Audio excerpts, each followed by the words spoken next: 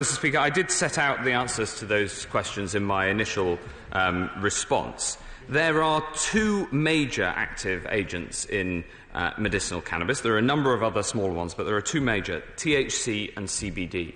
And the, the, the 80 or so uh, the vast majority of those who now have access to medicinal cannabis have access to CBD, and that is different uh, as an active agent.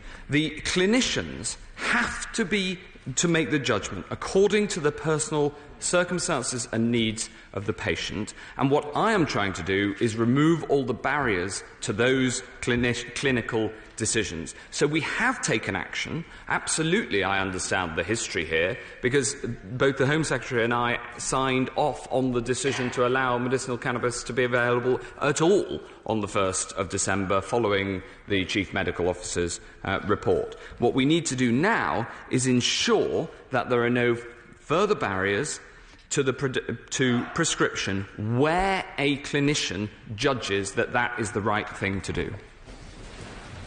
James Cartledge. Thank you very much, Mr. Speaker.